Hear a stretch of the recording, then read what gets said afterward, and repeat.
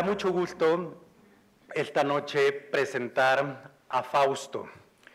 Fausto Costa, eh, presidente ejecutivo desde abril del año pasado, del año 2018, presidente ejecutivo de Nestlé para México. Y me da mucho gusto presentarlo por varios elementos. Uno, por un lado, porque sin duda es un CEO global con una gran experiencia, pero además porque conoce probablemente como pocos la región en América Latina. Conoce lo que implican los mercados emergentes, siendo originario de Brasil, habiendo sido director general de Nestlé para Venezuela y desde el año 2012 y desde el año 2018 pues encabeza las actividades, pues sabemos de uno de los grandes grupos, me atrevo a decir, no solo de alimentación, sino de nutrición, de investigación, de desarrollo, de tecnología de punta para uno de los sectores clave para cualquiera de las sociedades y en términos amplios para la humanidad. Fausto, nos da mucho gusto tenerte en el IPADE. Eh, tiene una amplísima experiencia habla tres idiomas, seguramente podrá eh, hacerlo en español, pero tal vez ¿no? con algún toque brasileiro. Eh, siéntete con toda la tranquilidad y confianza de, de encontrar en el IPADE un lugar que siempre queremos, abrir puentes de diálogo por el bien de la comunidad empresarial. Y no quiero dejar de mencionar, agradecer a Claudia, su esposa, que también nos acompaña esta noche aquí en el aula. Fausto, bienvenido a esta tu casa, el IPADE. Desde abril del año pasado, asumo la operación de México, eh, un país eh, muy atractivo para Nestlé, un país de muchísima importancia. Eh, para que ustedes conozcan un poco, la economía mexicana está como la décima segunda economía a nivel mundial, ¿no? Para Nestlé a nivel mundial, México es su quinto país más importante. Entonces, esto significa que México para Nestlé tiene un peso bastante más fuerte de lo que representa la economía mexicana. Siendo una compañía global eh, que está presente en prácticamente todos los países, Nestlé está presente en 194 países del mundo, es una compañía verdaderamente global, una compañía de mucha tradición, eh, vamos a cumplir 152 años de historia a nivel mundial, una compañía que ha crecido, que ha adaptado, ha avanzado de acuerdo a la evolución y seguramente también parte de este ADN que tiene Nestlé es, a pesar de ser una compañía global, yo digo que somos una compañía global de sabor local. Entonces entendemos mucho el sabor de cada país donde actuamos, eh, cuáles son las características de este mercado, de la sociedad, de la gente, de los consumidores, para que podamos ser eh, exitosos y poder desarrollarse en todos los países donde actuamos.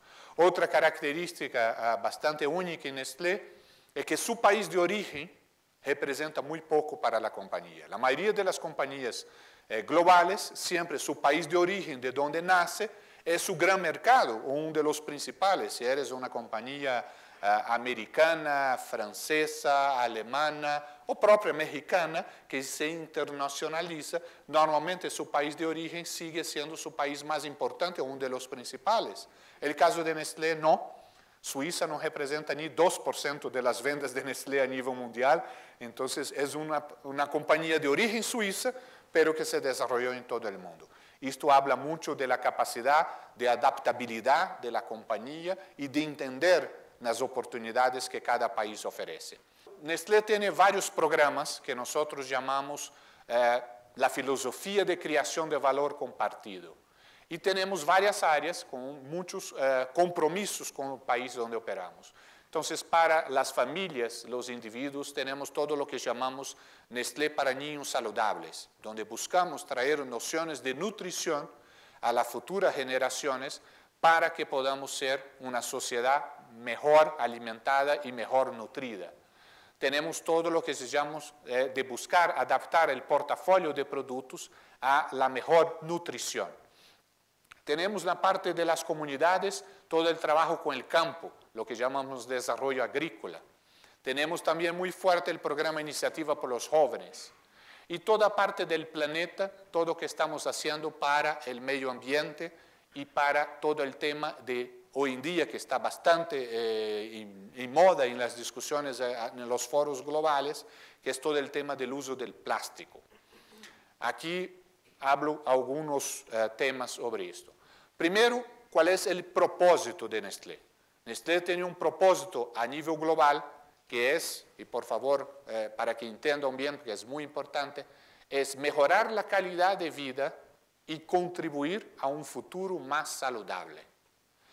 Esto es lo que nos guía como organización, como corporación, en todo nuestro eh, desarrollo, en todas nuestras estrategias de negocio. Siempre dentro de este propósito organizacional, mejorar la calidad de vida y contribuir a un futuro más saludable. Es una visión de largo plazo, eso no es un propósito de corto plazo, pero esto nos guía, nos da una dirección de todas nuestras acciones.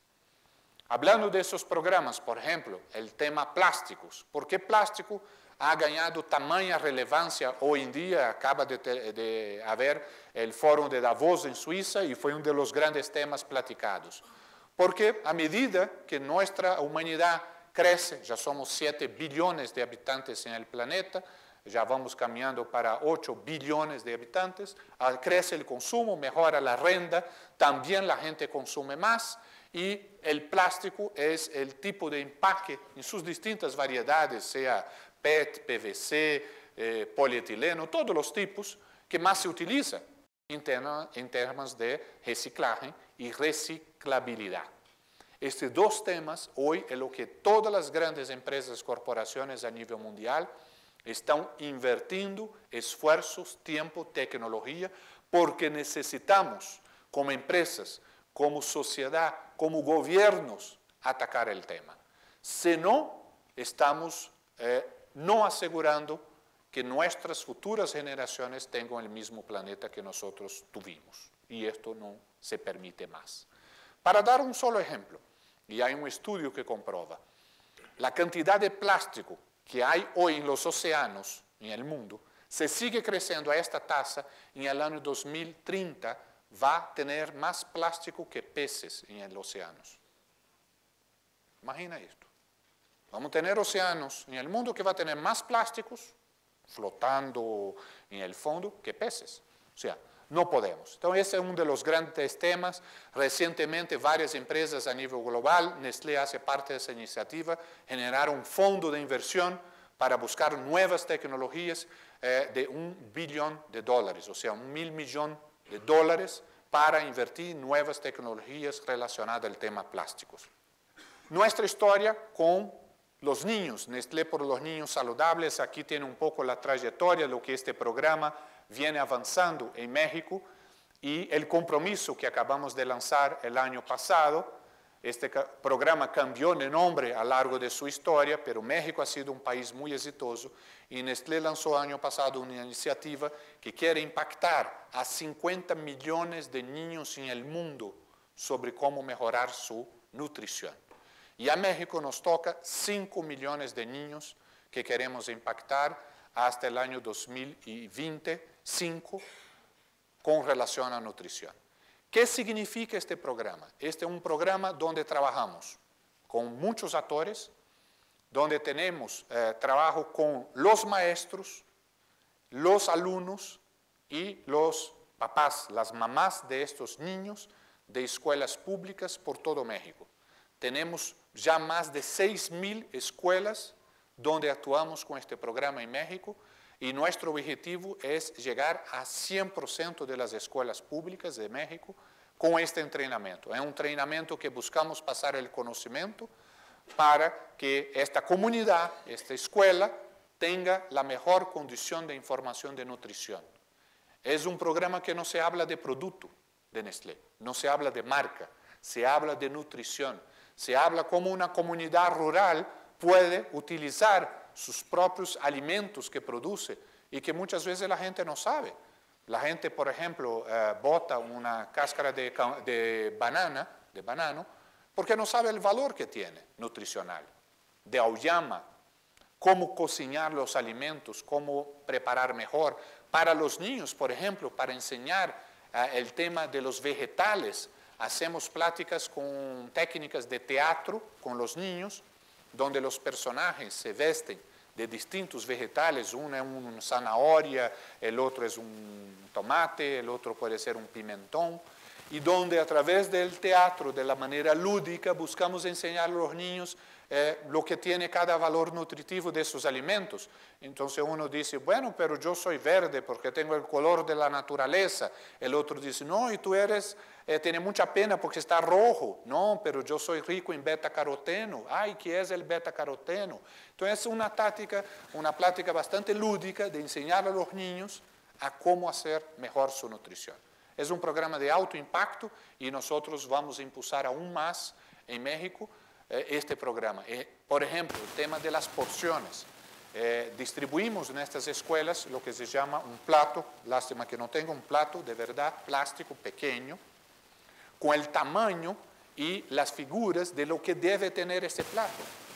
Cuánto debe ser la porción de carbohidrato, cuánto debe ser la porción de proteína, cuánto debe ser la porción de fibras, de vegetales, para que el propio tamaño del plato y con la figura bastante bonito, atractivo, ayude a que a la hora de servir a este niño no se ponga demasiada comida, porque esa es la cantidad que él necesita. Hay varias maneras, pero esta es una forma que queremos impactar la sociedad y de verdad atacar un tema tan importante en México que es el tema de la nutrición y dentro de la nutrición de la obesidad también. En México hemos logrado reducir 9.000 toneladas de azúcar de nuestros productos, 6.000 toneladas de grasa y más de 100 toneladas de sodio que han sido retiradas. Hemos buscado ah, adaptar productos como los cereales, cereales de desayuno, todos usando a harina integral para que podamos propiciar el mejor provecho del grano de la harina de trigo. En la línea Gerber, por ejemplo, hemos eliminado cualquier tipo de conservante, cualquier tipo de eh, aditivo. El azúcar que tiene hoy una papilla Gerber es puramente el azúcar natural de las frutas que compone. No hay ningún aditivo. Todo este trabajo de aperfeiçoar y quitar cosas que creemos que es el camino correcto, que toda la industria tiene que hacer ese esfuerzo, eh, junto con varias otras eh, actividades que tienen que ser hechas para buscarnos siempre la mejor nutrición. En la área rural, el campo, esto es parte también del ADN de Nestlé desde nuestro origen. Nestlé empezó eh, el año 1866 en Suiza y empezó cercano al campo, en ese caso a la cadena láctea, a, las vacas y empezando por el tema de la leche. Entonces aquí Nestlé tiene distintos programas en México, tenemos el programa para cafés, somos eh, en las tres cadenas, leche, cacao y cafés, un gran comprador, pero también invertimos mucho en el campo para mejorar la productividad del campo, eh, las buenas técnicas eh, de producción, mejorar también el cuidado con el medio ambiente y la mejor calidad de los productos. A nivel de café son total México hoy en día más de 100 mil productores agrícolas y hemos invertido en los últimos años más de 200 millones de pesos en el campo. Sector cacao también y la parte láctea también. El tema, como decíamos, eh, de otras oportunidades y compromisos que hemos asumido en México en términos de frutas y vegetales es tener 100% suplido localmente buscar también desarrollar en los casos que sea necesario, porque en algunos casos teníamos importación también.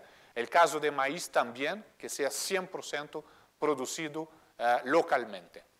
Otro programa muy interesante que está ahora bastante de moda, yo diría, en México, ¿no? con el nuevo gobierno, es todo el tema de los jóvenes, donde nace este programa de una visión de las corporaciones, en el caso de Nestlé, de que tenemos que impactar a nuestros jóvenes, porque vemos que hay un gran gap entre terminar la parte de estudios de secundaria e ingresar al mercado de trabajo. Y un país crece a medida que generamos más oportunidades a nuestros jóvenes. Nestlé México lanza 2015 este programa de iniciativa por los jóvenes. Ustedes pueden tener aquí la idea un poco lo que ya fue impactado en los distintos, tanto de contratación, cuanto de ganar eh, competencias, de se preparar, de tener soporte, entrenamiento. Ya estamos hablando de casi 500 mil jóvenes impactados en entrenamiento, o sea, medio millón de jóvenes en México, y la cantidad de aliados que tenemos. Y una gran felicidad, logramos incluir ese programa, el tema de los jóvenes, en la agenda de los países que componen la Alianza del Pacífico, México, Colombia, Chile y Perú. Esto es parte de, la Alianza del Pacífico. Tenemos siempre un gran evento anual ah, dentro de la Alianza del Pacífico. Y la gran alegría que puedo comunicar a todos ustedes aquí es que este año nos toca a nosotros, a México, hacernos los anfitriones del evento de la Alianza del Pacífico de los cuatro países aquí en México, donde buscamos traer eh, gente de principal conocimiento a nivel mundial sobre el tema del empleo del futuro, agroemprendimiento, nuevas tecnologías, y también traer muchos jóvenes, invitamos jóvenes de los cuatro países, un evento que tenemos como 2.000 personas eh, normalmente invitados, gobiernos de los cuatro países eh, y entidades, eh, asociaciones, empresarios, para que de verdad ganemos cada vez más tracción en este programa. Creo que es una gran felicidad que México tenga hoy un programa como Jóvenes Construyendo para el Futuro. Nosotros desde el inicio buscamos acercarnos, alinearnos esfuerzos, porque creemos que cuanto más participación tengamos, más vamos a poder impactar a todos los jóvenes mexicanos.